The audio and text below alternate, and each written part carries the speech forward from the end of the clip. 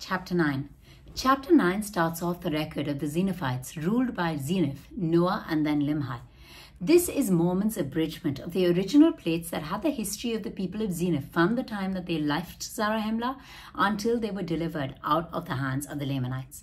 In the first 10 chapters of this record, Zeniff is the main speaker telling the story of his people.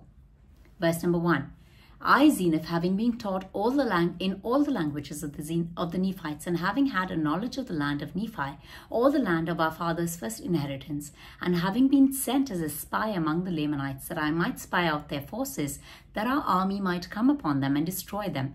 But when I saw that which was good amongst them, I was desirous that they should not be destroyed. On the first expedition from Zarahemla to the land of Nephi, Zeniff was sent in to spy among the Lamanites to understand how strong they were, to see if their army could be defeated by the group that had come up from Zarahemla.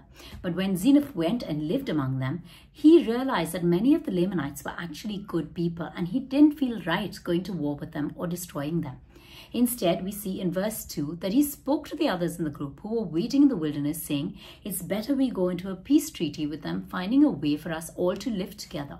But the ruler of the group was a bloodthirsty man who got angry with for saying this and sought to kill him for his words. The members of the group fought against each other, and all but 50 of them were killed. And then Zeniff led these people back to the land of Zarahemla. In verse number 3, Zeniff says that because he was so keen to go back and live on the land of their ancestors, in the land of Nephi, he gathered a bunch of people together again and he went up again through the wilderness because they as a people did not turn to God, they suffered a lot with famine and other troubles. They did not look for God's guidance. In verse number four, he says that after many days of wandering in the wilderness, they reached a point where the earlier group had fought with each other near the land of Nephi. You can see what happens when we don't turn to the Lord, when we don't ask for guidance, we don't humble ourselves and pray and ask for guidance on what we need to do next, to ask for a way forward, ask for His help um, going forward. That's exactly what the Zeniffites did. They thought that they knew everything, they knew how they where to go and how they could get there, and they didn't bother in their pride to ask God for help. And as a result, they wandered and wandered and wandered for a long time, lost. Verse number five. And it came to pass that I went again with four of my men into the city, in unto the king, that I might know the, of the disposition of the king, and that I might know if I might go in with my people and possess the land in peace. And then this time Zeniff took four of his men and went back into the city.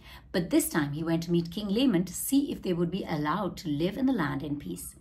Verse number six, and I went in unto the king, and he covenanted with me that I might possess the land of Lehi Nephi and the land of Shiloh. Zeniff met King Laman, who covenanted with him and agreed that they could take the land of Lehi Nephi and the land of Shiloh and live there.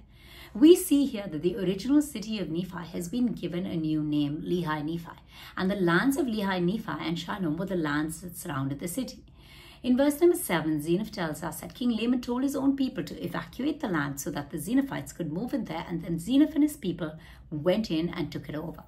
In verse number 8, Zeniff tells us that the city was not in good shape. The buildings and the walls needed repair, and the Zeniffites set to work to fix it up. In verse number 9, Zeniff shares that his people started to nurture, to till, to prepare the land, to sow seeds of corn, wheat, and barley, and fruits, and much more.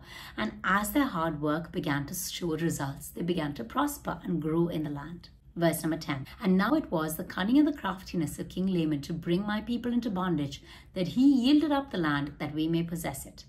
Zeniff shares in verse number 10 that King Laman had been cunning and likely planned all this from the beginning to allow the Zeniffites to settle on the land, plant crops, and do well so that he could benefit from it later. He continues in verse number 11 that after 12 years, King Laman, seeing how much the people of Zeniff had grown and how prosperous they were, got worried that the Zeniffites would eventually overthrow the Lamanites. The Lamanites were a lazy people at that time. They didn't want to work themselves, but instead were looking for other people to work for them so that they could enjoy the rewards. Zeniff says in verse number 12 that the Lamanites wanted to enslave his people so that they could enjoy the rewards of the Zeniffites' hard work. In verse number 13, he said that King Laman had started creating arguments and contentions among his people, encouraging them to start fighting with the Zeniffites, and this started off the fighting in the land between both the tribes again. Verse number 14. For in the thirteenth year of my reign in the land of Nephi, away on the south of the land of Shiloh, Where my people were watering and feeding their flocks and tilling their lands, a numerous host of Lamanites came upon them and began to slay them and to take their flocks and the corn of their fields. In verse number 14, Zeniff records that in the 30th year of his rule, a large gathering of Lamanites attacked his people who were peacefully feeding their flocks and taking care of their crops, killing many and taking away their animals and their corn that they had grown. And as many of Zeniff's people could escape, ran into the city and called him to help them. In verse number 16, Zeniff says that he armed the people with whatever he could give them, with bows and arrows and swords and scimitars and slings, and his people went out to fight the Lamanites. Verse number 17, Yea, in the strength of the Lord did we go forth into battle against the Lamanites, for I and my people did cry mightily to the Lord that he would deliver us out of the hands of our enemies, for we were awakened to a remembrance of the deliverance of our fathers. As Zeniff and his people prepared to go out to battle, they remembered how the Lord had delivered and saved their forefathers earlier, and they cried out to the Lord, asking for help, asking for support, asking for protection and for deliverance. Verse number 18 And God did hear our cries and did answer our prayers, and we did go forth in his might. Yea, we did go forth against the Lamanites, and in one day and a night we did slay 3,043. We did slay them even until we had driven them out of our land. Zeniff says that the Lord answered their prayers. He came to their help and he helped them overcome and kill the Lamanites and drive them back out of their land.